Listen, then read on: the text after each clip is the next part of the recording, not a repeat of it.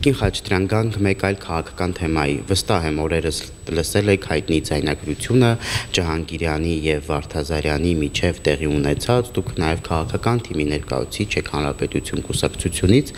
ինչ զգացողություններ ապրեցիք, երբ այս ձայնագրությունը լսեցիք ու ինչ գնահատական կտաք։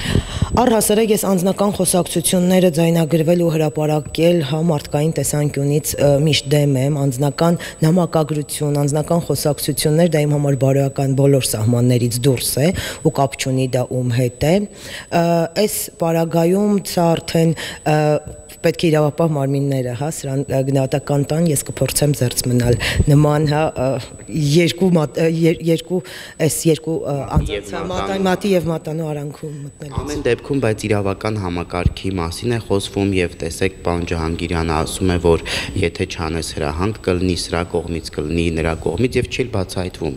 Այսինքն մի այնպիսի իրավիճակ է փաստորեն, երբ դատական իրավական համակարգին հրահանգ տվողներ կան։ Ինչի մասին է սա, հա, խոսում, ասում դատական համակարգի փոփոխությունների մասին երկար ժամանակ է խոսվել ու այս էլ հենց դրանից մեկն է, որ process-ը պետք է գնար հին հին իշխանություններից, հին հնից, հա, հին իշխանություններ չասեմ, հին մենտալիտետով ձևավորված դատական իշխանությունները այն ինչին սովոր են, պետք է իրենց տեղը զիջեն ավելի նորացված դատական համակարգի ներկայացուցիչների, երևի որ ընթացիկ կարգավորվի process-ը դատական համակարգի բարելավման, կարգավորման ու որ նման բաներ չլինեն։ Նորից եմ ասում, այս այն հարցն է, այս այն ամենն է, ինչին պետք է իրավական գնահատական տալ եւ ես չեմ կարծում, որ ես պետք է դրա գնահատականը տամ։